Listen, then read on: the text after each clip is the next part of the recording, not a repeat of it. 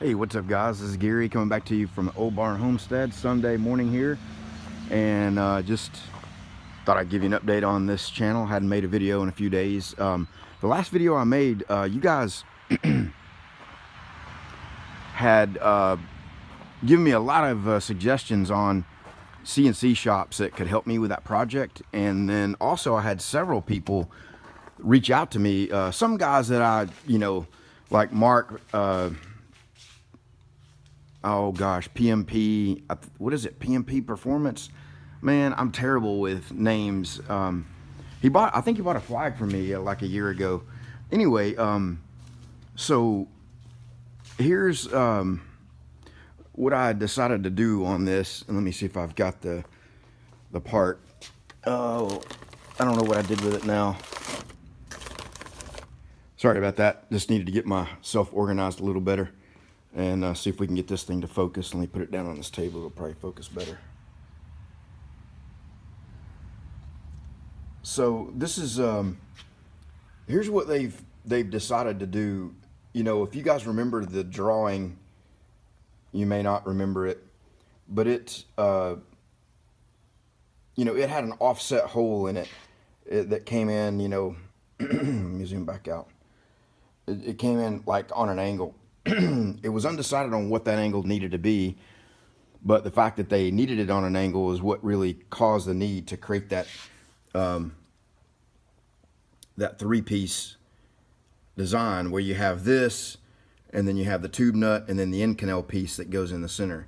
So what they've, uh, in talking to them more, they've now said for some reason, I don't know why, that they don't need or don't want want that ability for the offset hole and they kind of acted like something about the design that I came up with didn't allow for it which I, I didn't get that part but whatever. The communication is a little bit eh, a little bit tricky. They're nice people. I'm not trying to say that it's a difficult situation or they're being difficult or anything. They're really good people. But like what they want and how they want it you know has been a little uh, I don't know little tricky. Anyway, so they want to make it a one-piece design with the hole in the center. So what I did on this one is I welded it up with stainless. And um, it's really not wanting to focus, is it? Let me zoom this back out all the way. Okay. There you go. Um, so I welded the end of this up and then faced it off on the lathe. I just chucked it on the threads it being stainless, I figured that it wouldn't hurt them or anything, but I could be wrong about that. I'd need to double check that. But I'm, so I faced it, you know, once I welded it up, I faced it off on the lathe and then drilled a 80 thousandths hole in it. And the drill wouldn't, I mean, I used a center drill too. I don't really have a super tiny center drill. I need to get a smaller one. But I used a center drill on it and it still walked off to the side because the uh, my lathe is a mess. So, and here's the drill I used. Um, and you know my like well you see that was I've already pulled that all the way back so the, the Morse taper is already disengaged but um, even when it's engaged in the uh, in the taper it's just the whole thing has got some movement to it especially when you extend it out let me let me run it out here a little bit and I, have seen other ones do this same thing, you know, where they're just a little bit loose in there. And, you know, and so if you don't have a really defined center, it seems like it wants to, it can easily kind of wander off to the side. And it definitely did that. I was able to get the hole in it, but it just, it just wasn't acting right. So I think what I'm going to do is, um, I'm going to weld all these up with stainless and come back and um, just put chuck that up in a drill and hit this on the belt grinder to to put a flat and to smooth it down, you know, the where I welded it up. And then weld the flat up with Inconel filler rod, which is really what they want. And um, and then again, put it back on the belt grinder and grind a small flat on the end of it. And then put some soft jaws in the mill over here and put my hole in it on the mill. So put some soft jaws so I can repeat the position and just kind of set up a, a workstation. And so I've told them that, you know, that I can go ahead and make these, you know, of course I'll be charging them for the, for the time I'm spending on it. And there's not really any, well, the materials, I've got to buy some Inconel filler wire, which I'm guessing probably isn't cheap for what filler wire normally costs, but I don't really need that much of it. So it shouldn't be a lot.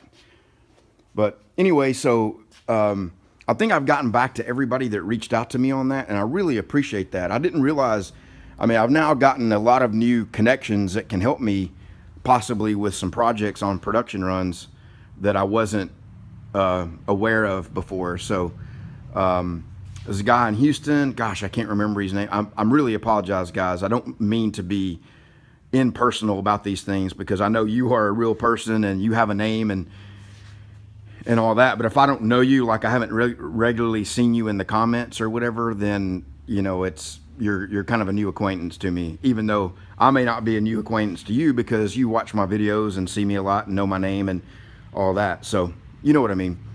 Anyway, I, I painted this stuff yesterday. I was going to give you guys a heads up. I get a lot of people that ask me, um, you know, across all of my videos, I get constantly asked about. Uh, you know, what kind of paint gun do you use? What what kind of uh, you know paint is that? What, you know, how did you get those uh, lines in it? How did you? I mean, like I get messages that flow in on Facebook. They come in on you know YouTube with people constantly asking about all these things. And so what I did is to try to a help people because if you're asking me questions like what kind of paint gun did you use? You buying the paint gun that I that I use is not going to let you get a paint job like this. There's so much more to it.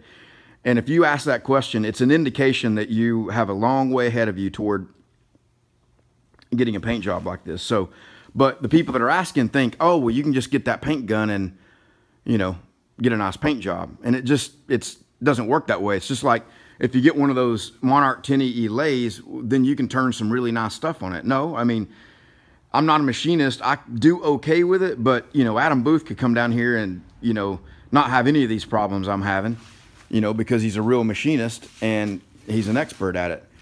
And so, um, anyway, what I've done is I, I use these two, this job I'm working on here, to film an entire step-by-step, detailed set of videos. And I've, I've got probably somewhere around eight videos that I've created. That's everything from uh, from the prep to you know how to do the artistic you know grinding and all on it to uh, paint where to buy it how to mix it what kind of paint guns. The ones I use maybe a couple of lower cost options. Um, how to do opaque base versus candy base. You can see this is translucent candy base. It's got a different look to it. This is opaque base here. How to mix this the clear how to get the clear to flow out and just get this super just glass looking look to it. So I filmed, I've got almost all of it filmed and it, it's, I've been working on that for probably the last mm, two, three days. A lot of videoing, a lot of editing. I've got a little bit of the editing done. I still have a lot more to do on that. But anyway, I'm going to be offering that as a product and, and my partnership with, with TrueCut, uh, I'm going to offer it to them as a free gift to any new uh, any person that buys a TrueCut table. So anybody that gets a true that buys a new TrueCut table will get the video series, and then anybody else that just wants to, you know, that's getting us, you know, because a lot of people are like, I want to buy that CNC table so I can make metal art. Well, you know, once you get the table and you learn how to use it and you can cut the metal art, then you got to figure out how to get a really good finish on it. And powder coating is one way to go, and I think it's a pretty straightforward and a fairly easy. I mean, there's some stuff to that as well, but not near the level of complexity of getting, you know, using automotive paints with all the different steps and the different, you know, mixing and and um, you know and the spraying techniques and all that. With powder coat, you just kind of fog it on there. You get an even, you know, it's a lot more forgiving than than the than the paint. I've I've had powder coating setups a couple of times, and so I'm pretty familiar with that. So anyway, if anybody's watching this that is interested in something like that, um, you know, let me know. Um, I'll, I'll, have the video series up and available. I'm thinking about like $19 or $29, somewhere, you know, kind of in that range. Um, and my hope is to continue to add to it. I do have a flag that I've got to paint today. And so I'm going to get these out of here. I painted these last, or got the clear on them last night. And I'll get the flag set up and I'm going to do a complete walkthrough on the flag from, from beginning to end. Because I think a lot of people that buy the table tables, you know, one of the things, that was the case with me. The very first thing I cut on this, on my table was one of the American flags. So the files for it are all over the internet. You know, it's no secret about getting the download file, but getting the killer paint job on it is not all, all over the internet. You can see pictures of it, but I've not seen details on on how to do it, and it's taken me a while to get them to look really, really nice. Um, and you just see the clear and the candy. You know how uh, clear everything is. I mean, there's still you see little specks and things in the the top of the clear if you look at it from certain angles, and that's just you can't get away from that, you know, and, and especially painting in a shop. Now, when I get in my paint booth, I'm hoping to get, you know, get eliminate some of that, but you're still always going to get that, you know, even in a perfectly nice downdraft paint booth, they all come out with, uh, with a little bit of nibs and stuff. And that's why you have wet sanding and buffing, you know, to get that stuff out. And metal arts just, these things are too flimsy. They're too, I mean, you could wet sand and buff it, but it'd be a lot of work and you really risk uh, one of the things that I don't know if this will show up or not, but if you look at this closely, you can see an edge right where you can see a, a raised area right around the edge of it. And that's just what the heat does to it. Everywhere there's an opening, it, it's got a raised edge. And you start running a buffer over that, it's going to catch that edge and burn right through the paint. So you're kind of limited on that, you know, what you can clean out. And that's why it comes down to, and I cover this in the video, it's extremely important to just think about all the variables that you have, like, um, you know, wearing lotion on your face, making sure that you blow your shirt off and your body off with air before you lean over anything to paint. You know, you want to be away from it. And if you have an environment where you have a lot of dirt and dust and debris, don't get a lot of air movement. You know, I, I just put that little fan in the door and I get a little gentle movement to get the overspray out but not so much movement that it's picking up stuff and dragging it across the paint. You know, those are the things that I, you know, details and tips that I cover in the video. They're quite lengthy. You guys know how long some of my videos are when I get to talking and it's can be quite miserable.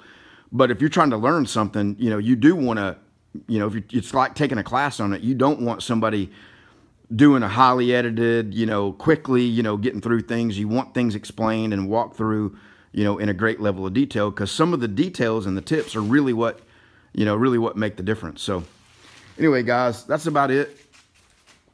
Um, that's what, I, what I've kind of been working on. I've got to get, they've given me the approval. I got to get the, the Inconel filler wire and I got to get set up to get these things made. And then that'll be finished up with that, with the project that this goes on. You guys have seen a little about that here and there. So, um, also somebody you know pointed out about uh, I think it was Brian Block uh, pointed out about the available you know like nozzles that are made specifically for this that atomize correctly where they atomize away from the actual part meaning you know the way their their systems work is the flame ignites right on the where it comes out of the the nozzle and that's why it has to be Inconel because it burns so hot at the at the tip it, it opens up the nozzle after a little bit of use. So they use Inconel uh, welded over the top of it and then the hole drilled through it so you have an Inconel uh, top finish on it that won't burn away so easily. And somebody was pointing out that the design, you know, that's that's not how that should be designed. And I didn't know that, and I definitely agree with you on that. And it's something I want to bring up to them. That, and again, this is an R and D thing. You know, they're they're just they're just looking at options and this thing that I built for them is kind of a prototype. You know, we can certainly change it. We could get different nozzles, you know, that can screw in, uh, assuming we can find some that have an eighth inch NPT on this end. But if we need to make an adapter or, you know, if I needed to weld up, if I needed to make some flat bar and uh, I'm going to just kind of take you up high, forgive the mess. If I needed to make a flat bar and you know, well, uh, cover this whole set of holes up with a little strip of flat bar and weld that all in and then make new holes. You know, I can make the new holes in the flat bar first and then weld, weld it across it to accommodate the new fittings. You know, that wouldn't be terribly difficult to do. So anyway, guys, just a video saying, you know, I got so many comments and uh, so many of you guys reaching out to me about about that. And like a day or two after I made the video, uh, I was going back and forth with the customer, and that's when they come came back and said, "Well, we don't really want the whole offset anymore. Uh, we want it right down the center. So could you just can you just weld those those fittings up, and that'll save us from having those made out of Inconel, which likely would be very expensive." you know the material is expensive and the machining is expensive as well just because of the hardness of the of the material. But anyway guys hope everybody's doing good. And again i really appreciate everything you guys do for me all the help um, support the comments. Uh, it it's it's uh, means a lot. So i appreciate it. Take care guys. I'm gonna get to work now